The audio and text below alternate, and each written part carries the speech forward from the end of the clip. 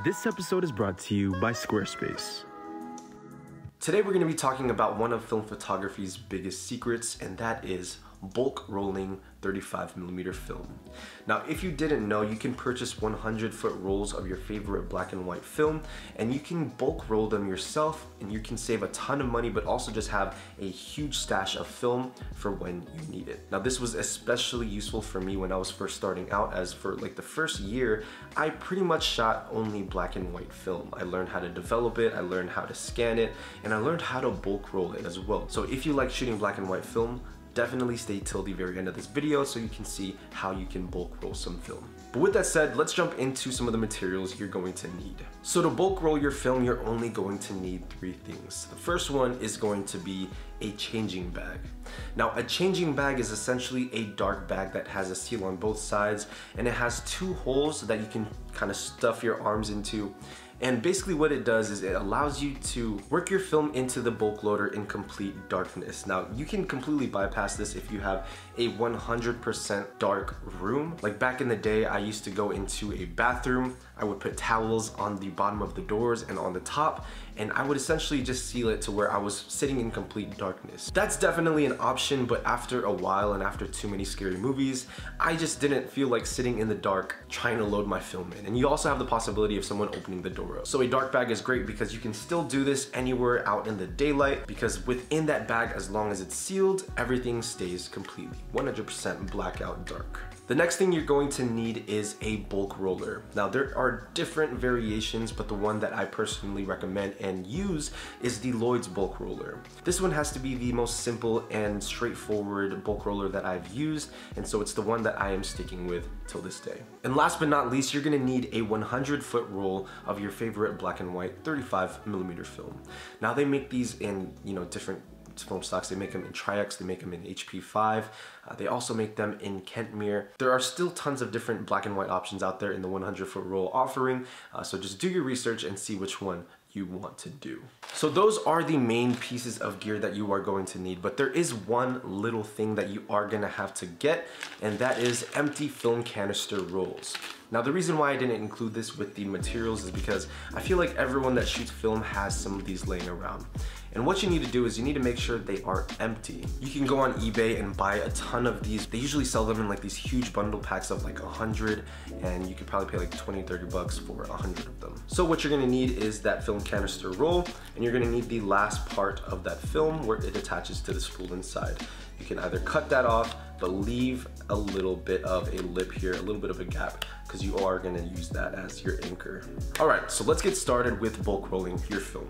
Now, before we get started with how to load your film up into the bulk roller, I wanna give a huge thank you and shout out to our sponsor for this episode, the good folks over at Squarespace. Squarespace is your all-in-one platform to build a beautiful online presence and run your business. Now, luckily, Squarespace has a ton of award-winning templates that you guys can use within minutes to get started, as well as an e-commerce shop, a portfolio, as well as my new favorite feature, the video feature, where you can essentially put all of your YouTube video content directly uploaded onto there or from a link. So head over to squarespace.com slash kingjvpes and enter promo code kingjvpes at checkout for 10% off of your first purchase of a domain or a website. It is extremely worth it to get your own website now, moving into the new year. Huge thank you to Squarespace for sponsoring this episode. Alright you guys, so now that we have all the materials out of the way, let's talk about how to bulk roll your film.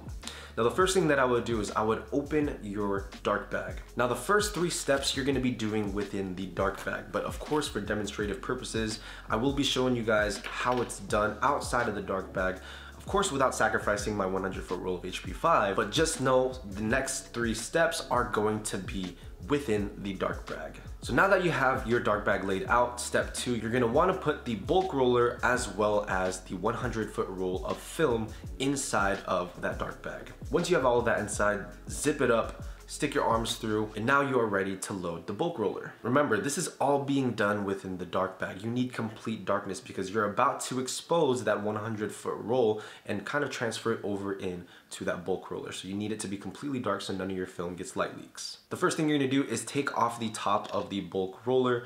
Usually you undo the circle cover and then lift off the face. From this face, you're gonna notice that there's going to be a spool in the very middle, a big open space, as well as this opening at the very top that has a lip that kind of has a cutout. Now the way this works folks is once you take out that 100 foot roll, you'll notice that it's inside of this kind of black plastic bag and you're gonna try to find where that film starts. Usually it's just a piece of tape holding it down. Now once you find where it starts, you're gonna grab that film and once you find where that starts, it's very simple. You wanna make sure that the top of the film is in your right hand. Grab the spool with your left hand and try not to touch the film itself and with your right hand, you need to grab that leader and now you're ready to place it onto the spool in the bulk roller. Once that you have this in, you need to take that leader and feed it through that little hole on the top. Once you have that done, you're gonna screw everything back together, put the top on, and you are ready to rock and roll. Just make sure you have a piece of that leader that you had in your right hand sticking out of the box itself. Once everything is sealed up and ready to go, you can open up the dark bag and now everything within this Lloyd's dark box is going to stay completely, completely hidden from light and so you can bulk roll your film now in daylight. Everything from this point on should be extremely easy. What I want you to do is grab that film roll with the leader sticking out. So what you're gonna do is with the top of the film canister facing up, you're gonna go ahead and take the leader from the 100 foot roll and take the leader from the film canister roll and attach the two with a piece of tape.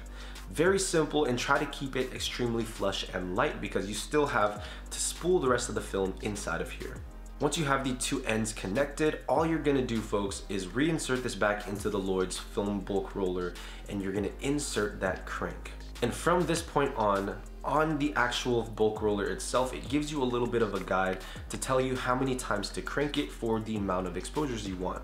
Now personally, I have found if you do about 29 to 30 turns, you're gonna be getting 36 exposures. And if you want a shorter roll, like a 24 exposure roll, you can do 24 turns. But folks, it's very simple. You insert that canister inside, you close it up, you take the crank, insert it, and then you're gonna turn it according to the amount that you want on your film roll. After you crank your film into the roll, pull it out just a little bit, not trying to waste too much film, cut it off, and then leave some room to make your leader. From this point on, grab a pair of scissors and create the shape that you see that you get from a fresh roll of film. And just like that, you guys, you have now a bulk roll of film. Now the best part about bulk rolling film you guys is it's extremely convenient. You can either bulk roll on command or you can do what I do where I kind of sit there for about an hour and I kind of crank out these rolls. And usually from the 100 foot roll, I get around 20 to 21 rolls of 36 exposure film. So very cost effective. And if you shoot a lot of black and white film, this is definitely something you should look into. But there you have it, you guys. That is how to bulk roll your own 35 millimeter film. Let me know in the comment section down below if you guys use this method or if you guys have any other suggestions, comments, or concerns. I would love to hear what you guys have to say. Also, please, if you made it to the end, drop a like and hit that subscribe button for more. But that's gonna be it for me. I'll see you guys in the next one. As always, Minolta Gang.